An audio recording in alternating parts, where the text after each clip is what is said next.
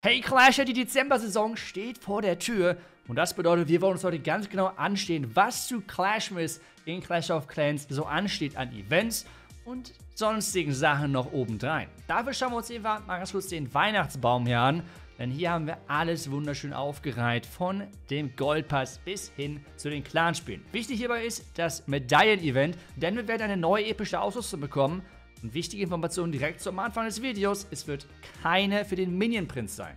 Ganz, ganz wichtig. Bevor wir uns die restlichen Events allerdings anschauen, schauen wir uns erstmal die neuen Skins an, die es jetzt für die Saison gibt und für den nächsten Monat gibt. Und hier haben wir zuerst erstmal den Barbarenkönig, den Robo King, ein neuer legendärer Skin für den König, der auf jeden Fall ganz lustig aussieht. Ich bin super gespannt natürlich wie immer mit euren Meinungen zu den Skins. Hierbei natürlich immer sehr, sehr wichtig. Skins sind natürlich komplett von Person, äh, von Person zu Person unterschiedlich zu betrachten, denn jedem gefallen unterschiedliche Sachen. Ich finde auf jeden Fall das von der Königin ganz cool. Die Königin in the Box, mehr oder weniger, mit ihrer, ja, Lolli-Bazooka so ungefähr. Sieht auf jeden Fall ziemlich interessant aus. Allerdings muss ich auch mal dazu sagen, mich hat ja das letzte oder das Thema vom letzten Monat komplett abgeholt. Das heißt, dieses Justice-Thema mit den Helden, sowohl als mit der Szenerie, mit den Skins.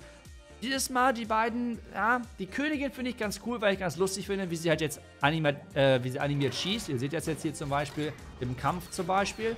Aber ja, ansonsten sind die Skins nicht so meins. Aber wie bereits gesagt, ich bin super gespannt, was ihr zu den Skins allgemein in den Kommentaren sagt. Beim Barbarenkönig finde ich auch ein bisschen schade, denn die Barbaren, ich weiß, die Ausrüstung nutzt man hier wirklich häufig, aber hey, ich will es euch trotzdem zeigen. Die Barbaren sehen so ein bisschen aus wie die vom Jolly King. Ich glaube, die wurden einfach recycelt und auch hier zum Skin einfach hinzugepackt. Das hier auch bei der Königin. Ich glaube, auch das sind, glaube ich, alte Bogenschützen von irgendeinem alten Skin. Finde ich ein bisschen schade, aber zeitgleich kann ich es auch irgendwie verstehen, weil die beiden Ausrüstungen werden eh so gut wie nie genutzt. Aber ja, ist auf jeden Fall, ich will es auf jeden Fall erwähnt haben, falls sich, wie gesagt, irgendwie überlegt, diese Skins zuzulegen. Außerdem, wie sehen die Animationen aus, wenn die Helden am Ende draufgehen? Da hat jeder Held immer seine eigene Animation. Ja, Barbarenkönig ist gerade ins rausgelaufen, ein bisschen unglücklich. Aber der Königin sehen wir jetzt zumindest, die hängt dann so halb, ja, wie nach einem Kater irgendwie über der Box. Aber egal, ich würde sagen, ähm, kurzes Themawechsel, denn wir haben natürlich die Königin im Goldpass drin. Das finde ich persönlich cool, weil ich finde, von den beiden ist das auf jeden Fall der coolere Skin. Äh, mit ihrem Rumgehüpfe und ihrer Lolli-Bazooka. Goldpass natürlich, wie immer, ihr kennt das Ganze. Hier wurde diesmal Gott sei Dank wieder nichts geändert. Da muss man mit dazu sagen, inzwischen nach dem Desaster im September. Aber, falls ihr euch überlegt, den zuzulegen, könnt ihr sehr, sehr gerne euren Lieblingscreator unterstützen. Mit Creditcode EZU könnt ihr mich unterstützen. Und natürlich, wie immer, ihr könnt das Ganze natürlich auf der Supercell Store Webseite machen. Da gibt es ab heute jetzt auch nochmal zusätzlich Black Friday Angebote. Die wurden zurückgerückt wegen dem Update. Das heißt, wir hatten jetzt Update-Angebote und ab heute haben wir auch Black Friday Angebote. Genauso auch wie das hier, wo ihr euch da einmal durchklicken könnt, falls ihr möchtet. Falls ihr euch dort irgendwas kaufen wollt, ist das immer kosteneffizienter auf der Webseite, weil ihr diese ganzen Zusatz-Items noch mit dazu bekommt. Ich habe die zum Beispiel alle schon mit dazu bekommen, weil ich jetzt sehr viel Geld ausgegeben habe während des ähm, Gem-Projekts zu Anfang von Rados 17. Aber auch als Free-to-Play-Spieler bekommt ihr die ersten beiden Items hier immer mit dazu. Das heißt, das Besuchen der Seite lohnt sich. Und auch hier natürlich immer sehr, sehr gerne mit Credit Code ITZU. Dafür ein riesengroßes Dankeschön. Aber wir starten auch jetzt mal mit den Events. Und starten tun wir ganz oben beim Bäumchen und zwar beim Goldpass. Den haben wir sich schon durchgeklickert, das heißt, wir können direkt weitergehen, weil beim Goldpass ändert sich sonst nichts. Und das ist die Klankriegsliga. Klankriegsliga, yep, da habe ich äh, bereits gestern für euch äh, Bases rausgehauen. Die könnt ihr auf jeden Fall euch anschauen. Kommen wir jetzt zum ersten richtig interessanten, und zwar dem Mystery Event ab dem 4. im Spiel. Das wird auf jeden Fall eine coole Sache und Superset hat ein bisschen was geteasert. Lass uns mal anschauen. What?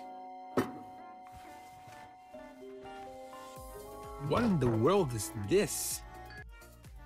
Für alle, die jetzt aufgepasst haben, das sieht auf jeden Fall genauso aus wie das, was in dem kleinen äh, in der kleinen Socke drin war, an dem Weihnachtsbaum. Das heißt, es ist am Ende wirklich das Event. Für alle, die sich jetzt wundern, woher dieser Clip hier äh, gerade entstanden ist oder woher der kommt, der ist von dem Twitter-Post, einem Video, als das Update live ging, also Rados 17 live ging. Da kommt dieses Filmchen her. I wonder what it does. What? That's odd.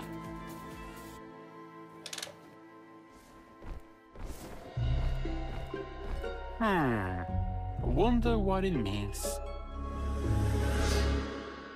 Wer weiß das schon, wer weiß das schon. Ich sage euch das so, es ist noch lustiger, wenn ihr die Personen, die in den Videos mit drin sind, auch persönlich kennt.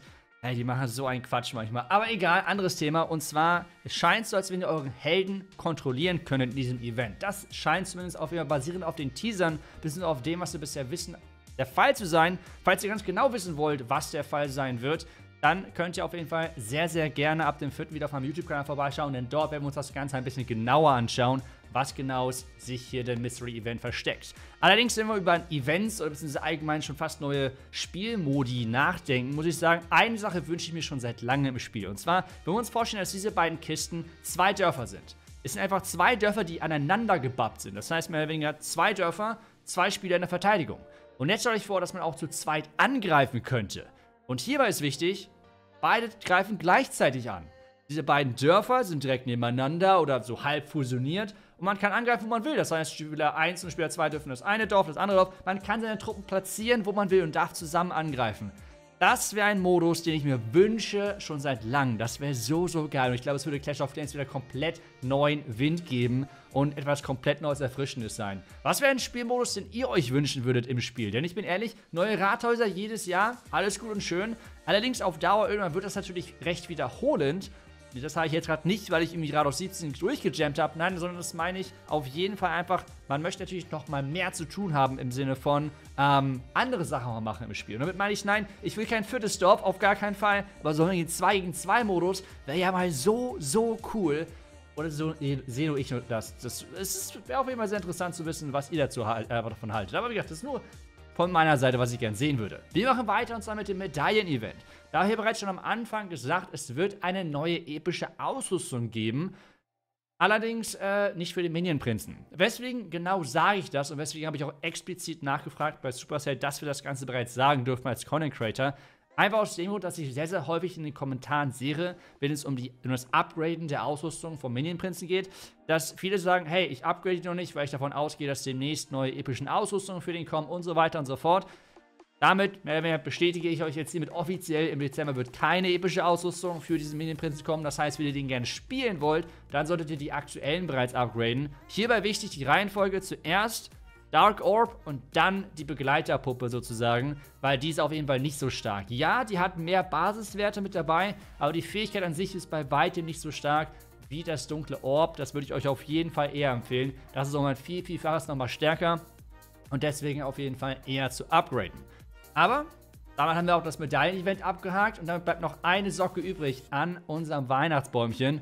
Und das würde ich sagen, schauen wir uns jetzt auch noch an. Denn, nun ja, das letzte übrig geblieben sind die Clanspiele. Yep, Clanspiele kommen natürlich auch. Und zwar ab dem 22. bis 28. Dezember dann. Das ist natürlich wieder hoffentlich gute Belohnungen, hoffentlich Motivation zu zocken. Und ansonsten würde ich sagen, wenn ihr immer alles wissen wollt rund um die Events, Mystery und Metal Event diesen Monat dann, werden wir den Kanal hier abonnieren, denn damit seid ihr immer up to date, immer alle Informationen direkt für euch parat.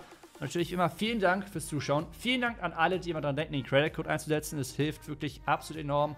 Vielen, vielen Dank für die, für die, fürs Zeitinvestment eurerseits. Und natürlich wie immer, haut rein und tschüss. tschüss.